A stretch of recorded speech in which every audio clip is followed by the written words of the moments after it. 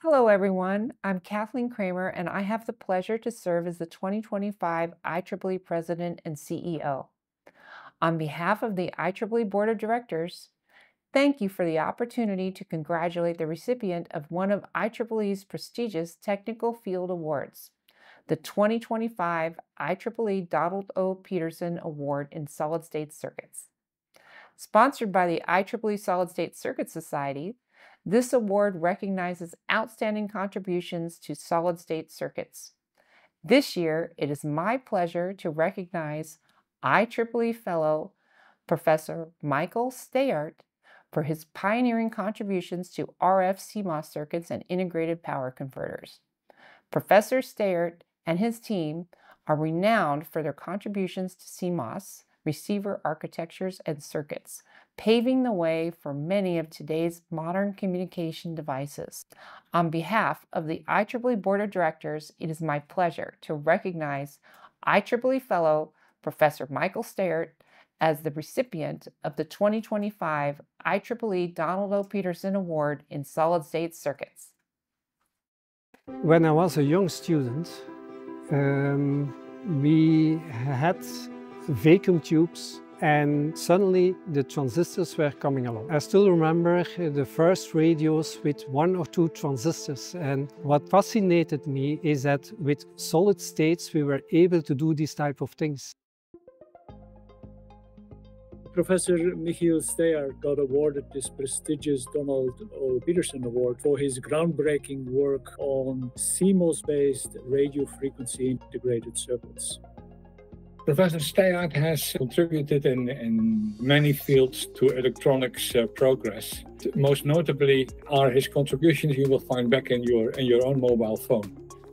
Well, my philosophy was um, uh, going to uh, fully integrated CMOS circuit design.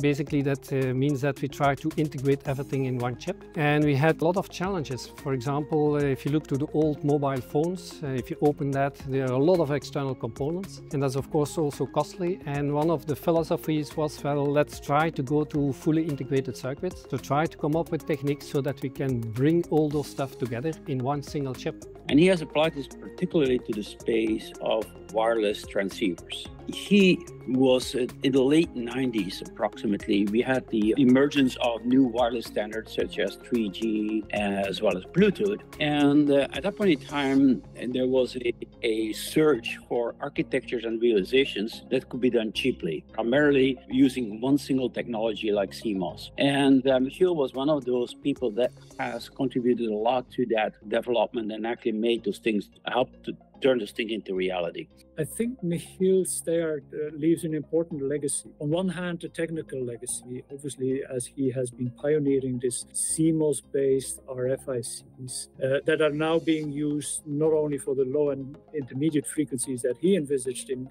in the 90s, but then how it is used by researchers today. I think a second important legacy is actually also as professor his students. He, he mentored so many generations of students.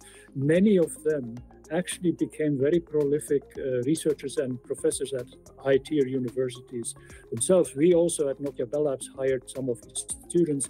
Several of them reached the Bell Labs fellow level. So uh, his legacy are also his students and maybe even the students of the students. Uh, there's many students that can claim a lineage, uh, a pedigree that goes up to Michiel Steyaert. So I think that within the field of applied electronics, the Pederson Award is the, the highest uh, achievable level of recognition that you can that you can achieve. In the past, there were quite a large number of very illustrious uh, recipients. I think that Michiel Steyaert certainly belongs amongst them